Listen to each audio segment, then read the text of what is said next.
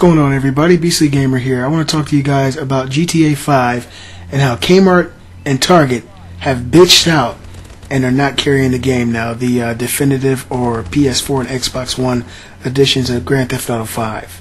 I hate when conglomerates and big companies fold under pressure, especially when you're dealing with unsavory groups and people who decide to focus on one aspect of life versus the myriad of areas of life that one particular genre or thing are involved in. Let me explain to you guys.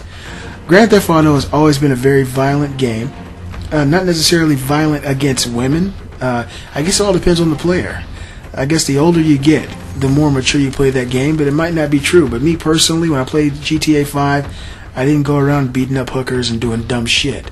I played the game as it was intended to be played, and when I was done with the story mode, I was finished with the game. I tried out some of the, you know, special features and all the little things that you can do in GTA 5, but for the most part, I got my Grand Theft Auto crazy days out of the way early. I played Grand Theft Auto 3, I played San Andreas, I played games like that. And so, uh, years ago, I would. I'd, I'd get five stars up, and uh, I'd run around and create all kinds of havoc and run people over and snipe people's heads off and shoot tires. And uh, now I'm at this the point in my life where that really doesn't intrigue me as much. So when I play a game like GTA, I want to get the story done, play it, and then that's it. Because after you play Grand Theft Auto, pretty much all you do is do the little side things, golfing, you know, going to clubs, stupid shit. Or, or you run around and you, you cause trouble and you outrun the law and all kinds of shit like that. So to me, Grand Theft Auto has never really been a game that was focused on uh, violence against women like some people want uh, these huge companies to believe. This article is on abc.net. And uh, it's pretty big news right now. I'm pretty sure a lot of you guys have heard this. The Target and Kmart have pulled the game from the shelves. Target and Kmart have pulled the video game Grand Theft Auto 5 off shelves over controversy about the game's depiction of violence against women. The R-rated game has been available on Xbox 360 and PlayStation 3 for more than a year, but was re-released last month on Xbox One and the PlayStation 4. A Change.org petition calling on the retailer to withdraw the game from sale gained more than 44,000 signatures. The women behind the petition, named on the site as Nicole, Claire, and Kat, said as survivors of sexual violence, they felt the game sent a dangerous message. It's a game that encourages players to murder women for entertainment. The incentive is to commit sexual violence against women, then abuse or kill them to proceed or get health points. I never knew I never knew you got health points in GTA for murdering and killing women. And now Target is stocking it and promoting it for your Christmas stocking, the petition said. So that's their quote. That uh, you you beat women, you sexually assault women, and then you murder them to get health points. This does not sound like a Grand Theft Auto game that I know, unless they put a, a special mode in Grand Theft Auto 5 that I didn't know about. Uh, the quote continues This misogynistic Grand Theft Auto 5 literally makes a game of bashing, killing, and horrific violence against women. Target General Manager of Corporate Affairs Jim Cooper said the decision to stop selling the game was made following extensive community and customer concern. Quote, We've been speaking to many customers over recent days about the game, and there is a significant level of concern about the game's content, Mr. Cooper said in a statement. We've also had customer feedback in support of us selling the game, and we respect their perspective on the issue. However, we feel the decision to stop selling GTA 5 is in line with the majority view of our customers.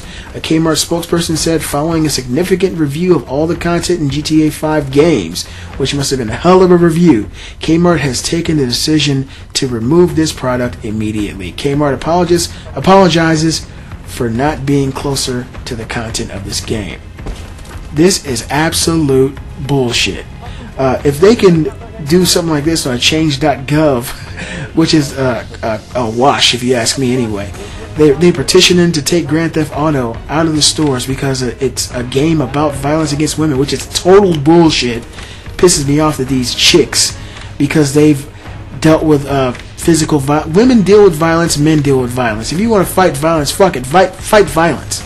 Don't fight violence against women you know, I'm a man. I don't want a violent attack on myself. Because I'm a man, it's okay. Women and men face violence every day. Women go into the armed forces every day. There are video games that show violence against men and violence against women. That's just the reality of it. It's art. Now, I'm not saying that every artist out there is going to write a story or, or, create a game or a world where women are just getting their faces blown off. But if it's if it's the way you decide to depict a tale from your imagination, who are who is somebody else? These three chicks to say that the way you've written it is wrong, and people should not be able to enjoy that. I mean, they got movies like Kill Bill. Kill Bill shows the main character getting raped in a hospital, right? Getting raped and getting her ass kicked and women dying left and right. But I'm pretty sure that when this movie came out, these women weren't all over a change.gov website trying to get the movie removed. There are different types of art and different types of stories being told. And like I said, Grand Theft Auto is a pretty pretty extreme game when it comes to uh, allowing people to do what they want to do as far as being violent and, and just killing people. It's just the way that game is, is, is created. It's the culture of that game series. But there is no reason at all to consider this game a game about violence and women. Violence against women. It's total bullshit.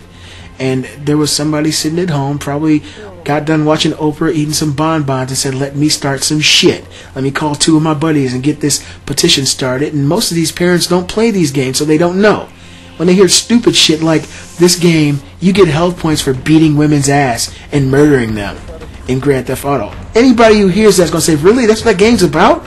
Yeah, I'm gonna sign that fucking petition.